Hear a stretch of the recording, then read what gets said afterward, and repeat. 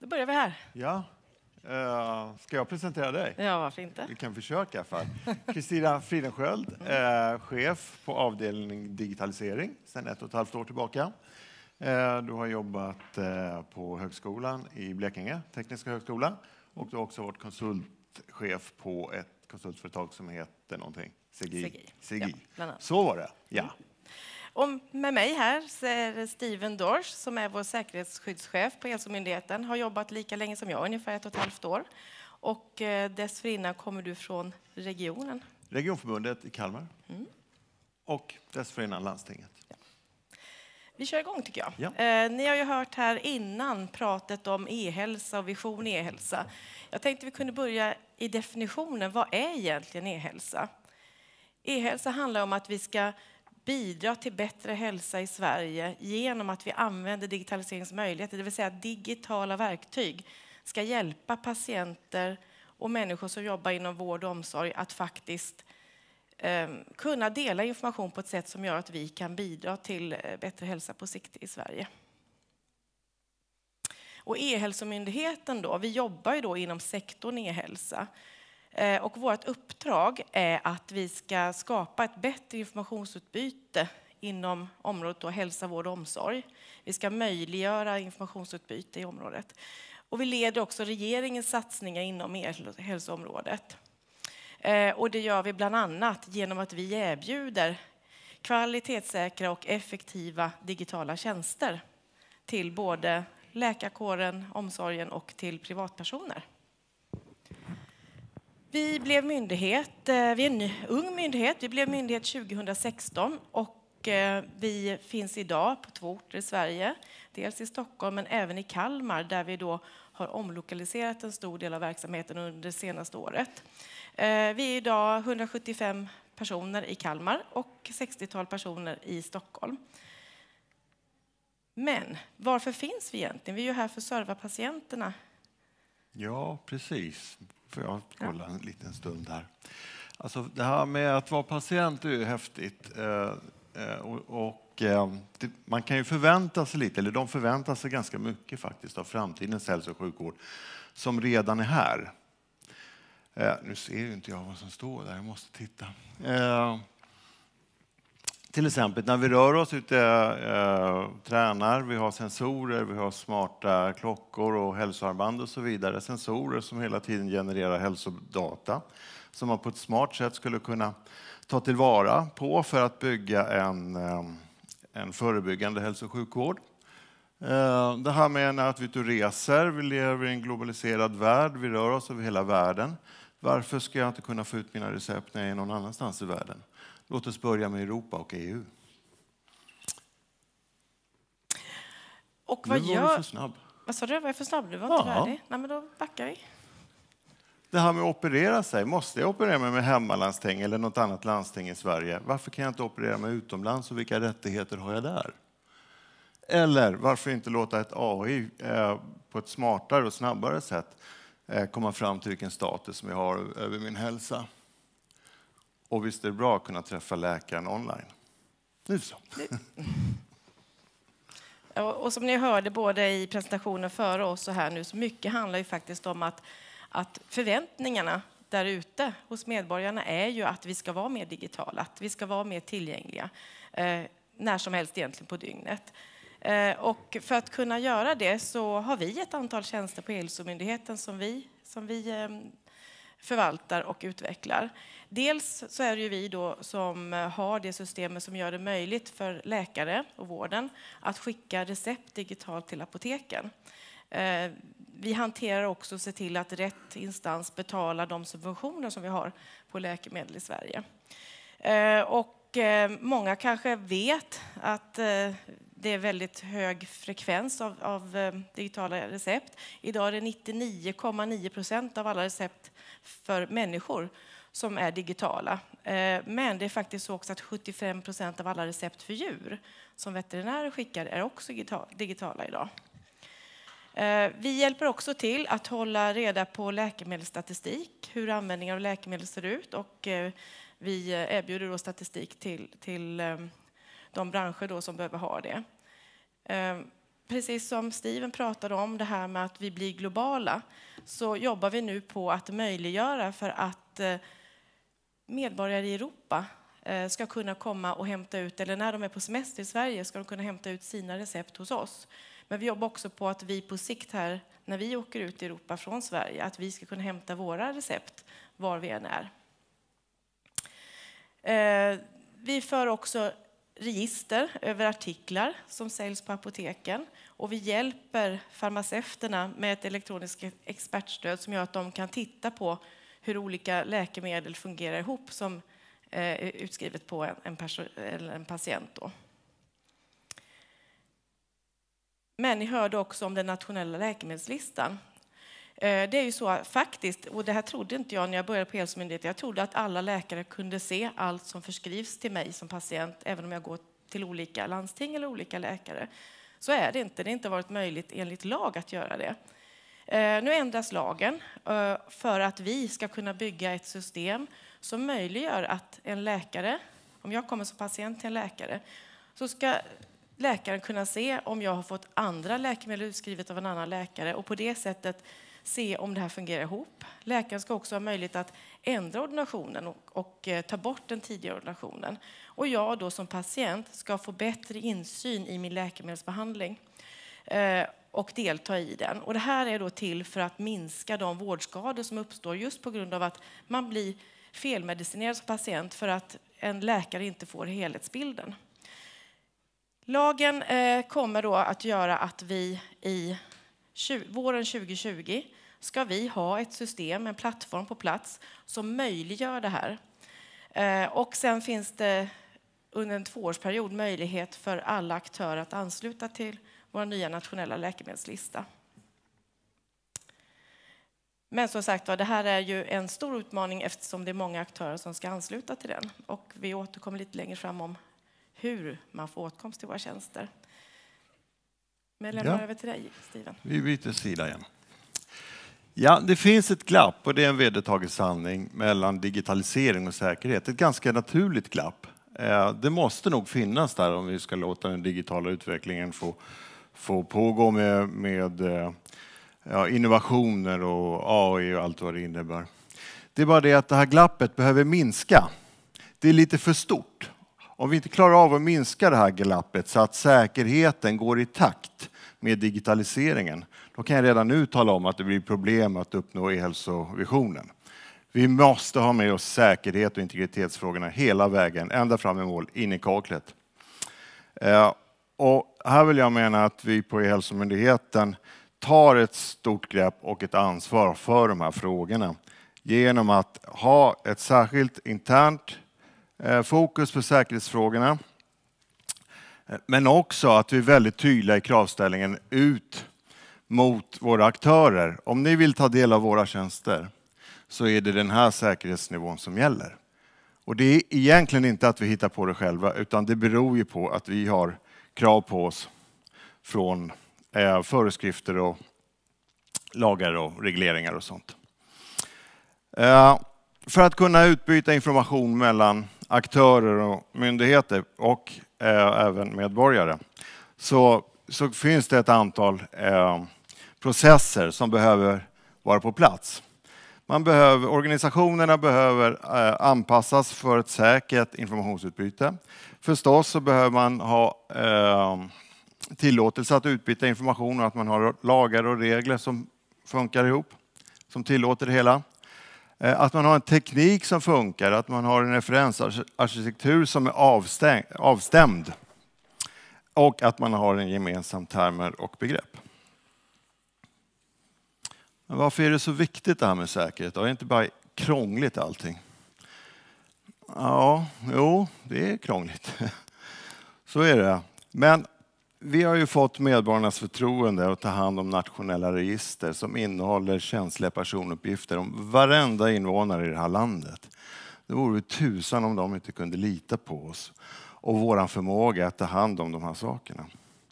Integriteten hos de enskilda individerna, människorna där ute, det är en självklarhet. Men det är också en utmaning därför att det är deras krav som är självklara som är vår utmaning. Det är ganska mycket vi har kvar att göra, inte bara vi utan sektorn tillsammans för att klara av de här delarna. Och det här klarar vi bara av om vi jobbar tillsammans.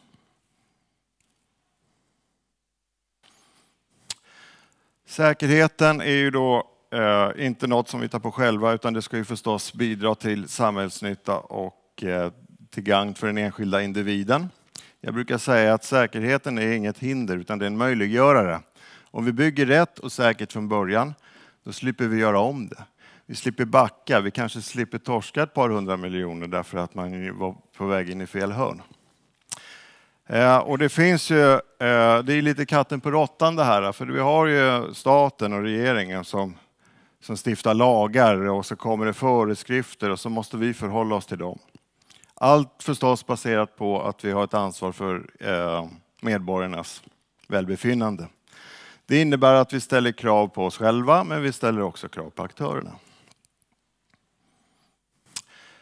Jag ska inte gå igenom alla lagkrav. Precis som alla andra verksamheter så omfattas vi också av GDPR. Eh, när det gäller NIS-direktivet så är det ju inte så att vi är vårdgivare. Man kan tycka att e-recepttjänsten är en samhällsviktig tjänst och det är den. Det gör att vi också blir indirekt drabbade av NIS-direktivet. Eh, vi har på oss att eh, arbeta systematiskt med informationssäkerhet enligt en föreskrift från MSB från 2016. Läkemedelsverket är väldigt mån om att vi har säkerhet i våra system, i våra produkter och tjänster. Därför har vi en en eh, särskild process som kallas för NMI, där vi kontinuerligt eh, hela tiden jobbar med interna riskanalyser. Vi har eh, receptregisterlagen, vi har nationella strategin för informations och cybersäkerhet. Och dessutom så är det så att vi, vi tror, vi är ganska säkra på att vi kommer att omfattas av den nya säkerhetsskyddslagen som börjar gälla i april nästa år. Men det vet vi inte än. Vi ska analysera det. Ja. Ledningssystem för informationssäkerhet är förstås det som vi, som vi har på myndigheten och som vi hela tiden jobbar med att utveckla. Och det består ju då av en eh, strategisk, en taktisk och en operativ nivå. Och den här bilden är intressant därför att den avspeglar lite grann hur vi är organiserade på myndigheten. Jag sitter i, i ledningen och arbetar på staben. Mitt ansvar är att vi har rättssäkerhet. Men hur det görs, det låter jag ofta till Kristina, eller i stort sett alltid på Kristina. Det är hon som ska se till hur vi uppnår målen. Det innebär att hon har en säkerhetsavdelning hos sig som jobbar med att eh, bedriva och stödja det systematiska informationssäkerhetsarbete, hjälpa till med klassning, riskanalyser, informationskartläggning eh, och så vidare. För att knyta ihop det strategiska arbetet med den operativa och taktiska så har vi ett säkerhetsråd som träffas var 14 dag och eh, stämmer av så att vi ser var vi har varandra och hur vi ligger till.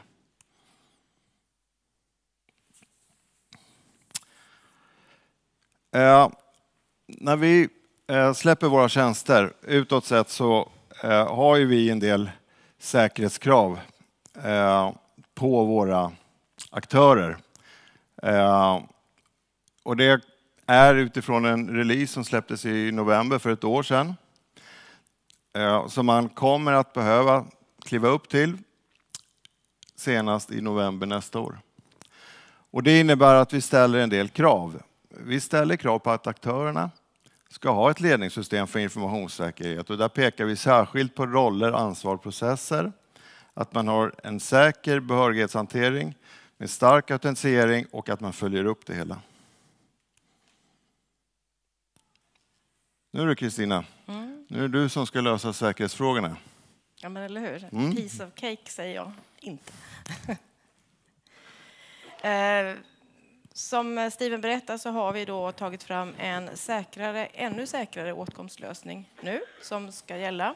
Och eh, många har ställt frågan till oss, ja, men, eh, varför, varför ska vi vara klara med den till november 2019 nu när läkemedelslistan kommer? Hör inte de här ihop? Eh, de hör inte ihop som så att den nya säker åtkomstlösningen är på grund av läkemedelslistan, utan vi höjer säkerheten för alla våra tjänster. Men säker åtkomst, så som den ser ut nu, kommer också vara det sätt som man måste anpassa sig till för att kunna ansluta till den nya nationella läkemedelslistan. Eh, därför är det viktigt att vi får med alla aktörer att göra de anpassningar som behövs. Då.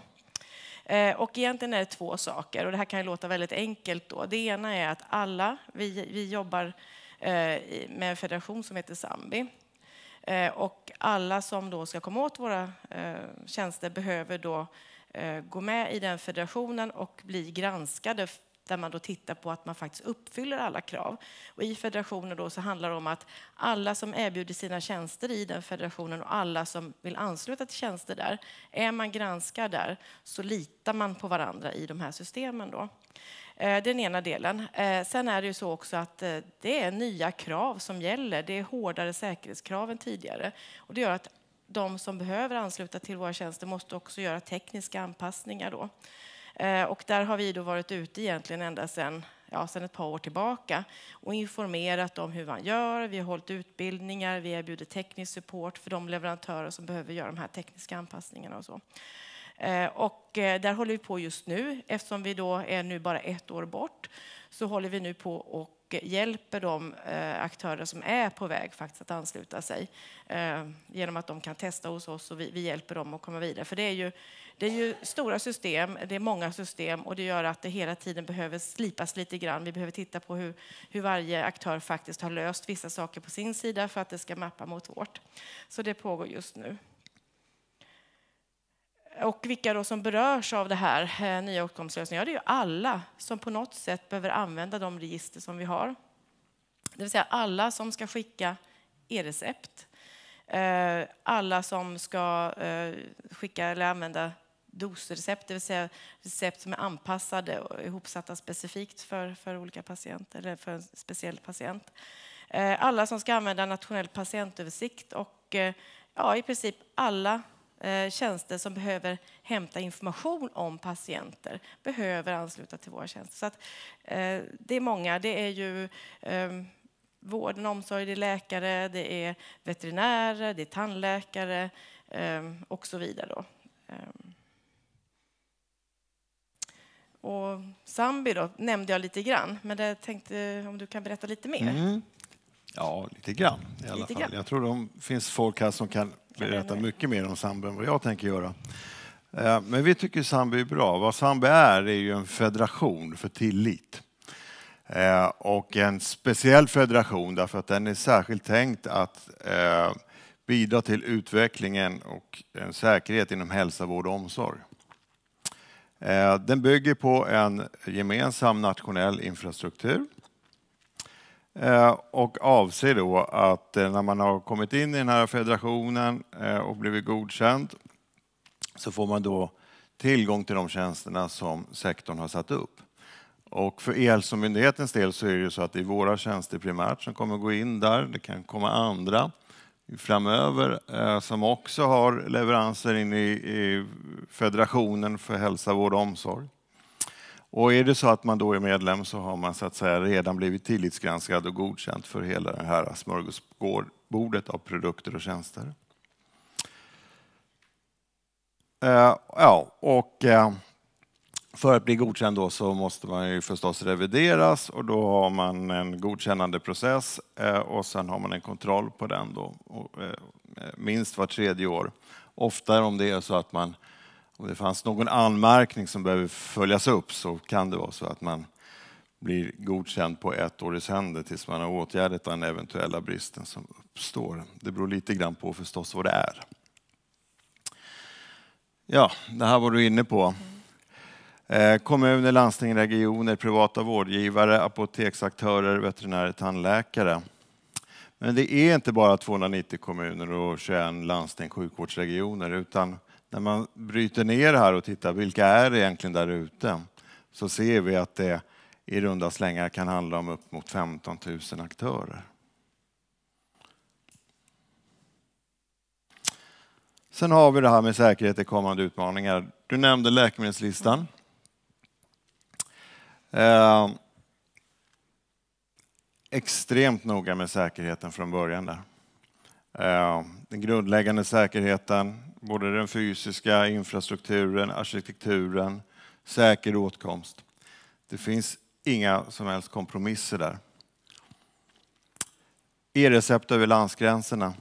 Hur vet vi att vi kan lita på ett anrop från Östeuropa? Hur vet vi att det anropet inte är infiltrerat, att det ingår i någon konspiration från tredje världen som gör en informationskartläggning i ett annat syfte än att plocka ut e-recept? Hur säkerställer man de bitarna? Eh, när man jobbar med säkerhetsfrågorna så måste man vara lite paranoid. Men faktum är att eh, vi har att förhålla oss till nya tider med en ganska orolig värld där ute. Och det är det som våra produkter och tjänster ska var byggda för att tåla.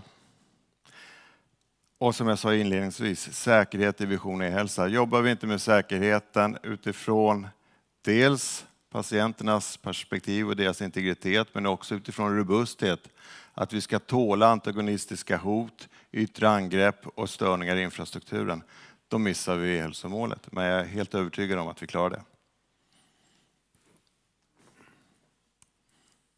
Mm, då tycker jag vi öppnar upp ifall det finns frågor till oss.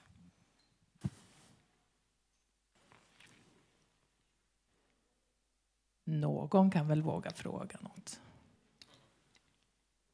Inte en enda fråga. Ja. Där kommer Och där bort. Vänta Två. på mikrofonen bara. Jo, Göran Westlund heter jag och kommer från Alingsås. Jag, tänkte, jag ställer en fråga lite halvt okunnig och med risk för att förstöra den goda stämningen. Var det inte E-hälsomyndigheten som hade ett projekt om eh, en nationell hälsojournal? Eller har jag, har jag blandat ihop det här? Som lades ner?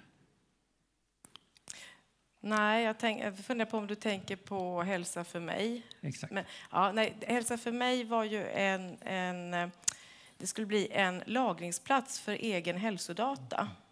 Eh, och den eh, gick inte. Vi, vi, eh, enligt de lagar som finns idag så var det inte möjligt för oss att hålla ett sån, en sån lagringsyta så som det ser ut. Hur det blir framåt och hur vi, för behovet finns, det får vi se. Men, men just den, den är inte så som den ser ut. För så den, som den såg ut. Den, den har vi avslutat. För den naturliga frågan var, var ju alltid vad lärde vi oss på på detta så att säga och vad kan, vad kan vi lära oss för framtiden? Vi, vi, det finns mycket man kan lära av det, men det, det jag vill framhålla är att vi gjorde de förebyggande säkerhetsanalyserna. Vi gjorde också en annan juridisk tolkning än vad Datainspektionen gjorde. Uh, nu, uh, vi, nu är vi i den sitsen att det finns mycket av det arbete som är gjort som vi kommer att kunna ta tillvara i kommande arbete. En del av det lyfter vi in i den nationella läkemedelslistan. Man kan, man kan väl säga så också att en, en av fördelarna och ett av ansvaren som myndighet det är ju också att vi ligger lite steget före och tittar på vilka lagstöd saknas för de uppgifter som vi eller uppdrag som vi eh, kommer att få. Eh, och där har vi också möjlighet att, givetvis flagga uppåt och tala om att här saknas ett lagstöd om vi ska kunna utföra det här uppdraget. Det gjordes i med eh, nationella läkemedelslistan och därav gjordes e-, en rad lagförändringar innan vi satte igång för att vi ska säkerställa att det är möjligt att faktiskt utföra det uppdraget så som det är tänkt. Mm. Mm. Det var någon där borta som vinkade. Någon mer fråga? En, vänta, vänta, mikrofon. Jag heter Simon Lindgren och kommer från Södertälje kommun. Jag vill prata lite, eller fråga om Sambi. Ni, jag tyckte att initiativet från en kommunsida med ert initiativ kring Sambi var en bra sak, men nu har ni gjort paus. Eh, jag vet att ni har fått synpunkter på, på er eh, lansering från SKL. Hur är det med samordningen på nationell nivå egentligen? Gick ni för mm. fort fram eller? Och en följdfråga. Ska vi fortsätta vårt arbete på kommunsidan med Sambe, att gå mot Sambe? Mm. Vi har inte gjort paus, eh, vill jag säga. Eh, vi har vår säkerhetslösning, vi har de tekniska krav vi har och vi har Sambi som federation. Eh, SKL har ställt ett antal frågor till oss som vi har en dialog med dem om. De har gått ut, precis som du säger, Eh, deras rekommendation är att avvakta medan vi har en dialog med dem där vi säger att det är olyckligt att säga avvakta helt och hållet eftersom de tekniska förutsättningarna kommer inte att ändras utan de tekniska anpassningarna behöver man påbörja. Och vi håller också på och för en dialog tillsammans med SKL och tittar på om vi på något sätt framåt kan underlätta för kommuner eh, att eh, komma åt våra tjänster. Ehm, Förutom Sambi. Då. Så den dialogen pågår och vi hade en workshop förra veckan och vi har ett uppföljningsmöte den här veckan. Så att våran, våran syn är att nej, eh, sitt inte still i båten. Fortsätt göra era tekniska anpassningar och förbered er. För att det är november 2019 som gäller. Och det här är ju för att höja säkerheten för alla. Pausa inte. Ja, då har vi en fråga till här från Linn. Ja, ja, Ylva Hambraeus Björling heter jag. Jag tänkte bara hjälpa till med historiebeskrivningen. Eh, det är ju faktiskt så att det var SKL och föregångaren till E-hälsomyndigheten som tog initiativet till Sambi. Så att, eh, jag säger bara heja E-hälsomyndigheten. Att SKL skulle komma nu och säga att det här inte funkar, då tycker jag man ska gå hem och eh, skämmas lite. Och så har vi en fråga till avslutningsvis. Tror jag. Ja, kommer. Eh, Linn Valera kommer från eh, GITS samverkan i Västra Götaland. För det är väldigt svårt att förhålla sig till eh, det, de nationella tjänsterna och vad, vad, vi ska jobba med när det kommer olika information från olika. Det, det krävs en första samordning er emellan innan informationen går ut på olika sätt. Det blir väldigt, väldigt förvirrat och kaosartat där ute. Och det finns ju en hel del förutsättningar att ta hänsyn till som vi har idag. Och vi står lite förvirrade där ute, måste jag säga. Mm. Jag förstår det och jag håller med dig. Det kan bara bli bättre. Vi tar två frågor till. Ja, hej. Elinor heter jag. Eh, det här kanske blir en fråga både till er och till dem som pratade innan. För att i den här utredningen som finns, den här statliga utredningen 2015-32, nästa fas i e-hälsoarbetet, så rekommenderar man ju att E-hälsomyndigheten ska vara liksom samordnande nationellt. Så. Eh, och att, eh, där det står då också att man behöver ha en eh, nationell samordnare utav det här. Och då undrar jag lite grann hur det hänger ihop med det här gemensamma samordningskansliet mellan Socialdepartementet och SKL. När man vidare i den utredningen skriver också att eh, e-hälsa Eh, Eh, när utredningen inte ser att varken SKL eller NERA kan ta en koordinerande roll enligt denna inriktning? Eh, ja, jag kan väl ge, försöka ge ett svar på det här. Ehm, det här var ett förslag som kom från en statlig utredare. Och det är som alla förslag, antingen antas de eller så antas de inte. Eh, det som har hänt nu istället är att, precis som jag försökte beskriva i den organisationsbild som jag hade, att för att det ska bli en, om man säger, en koncernlednings eh, commitment så behöver alla aktörer committa sig in i att vi ska driva eh, mot visionen. Och då behöver både staten och eh, representanter från huvudmännen delta.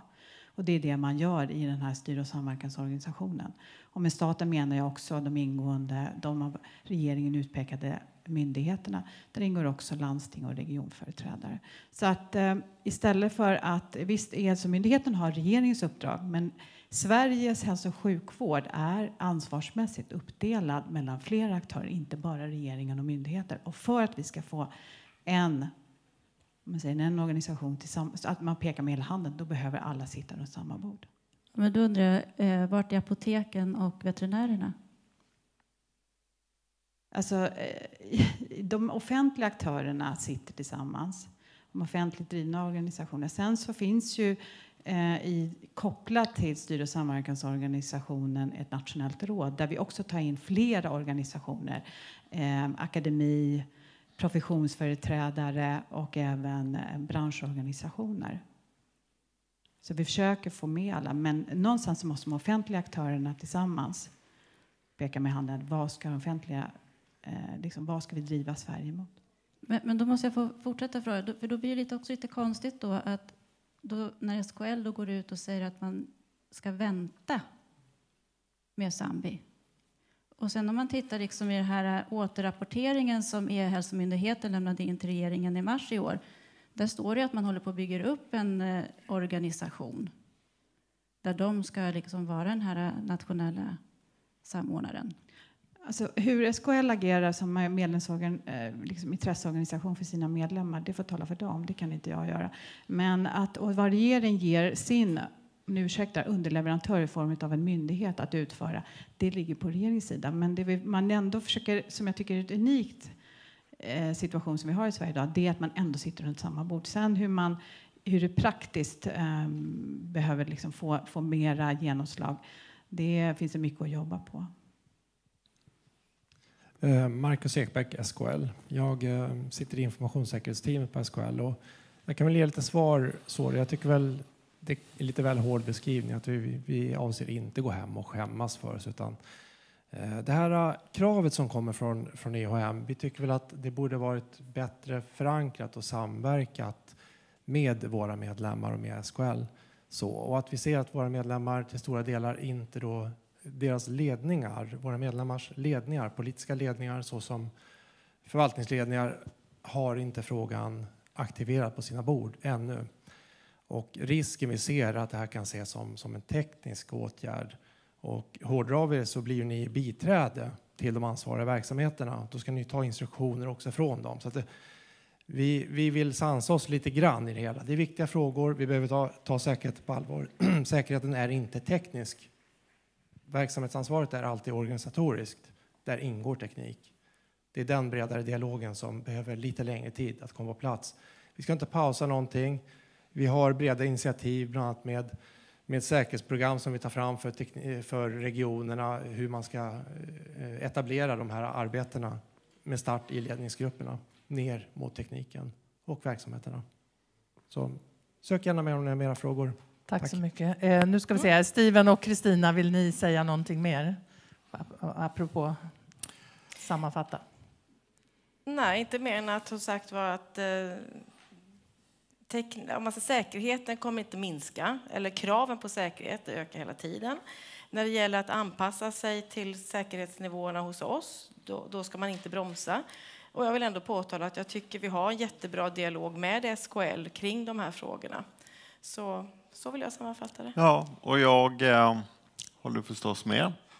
Jag eh, tycker också att vi eh, för konstruktiva samtal.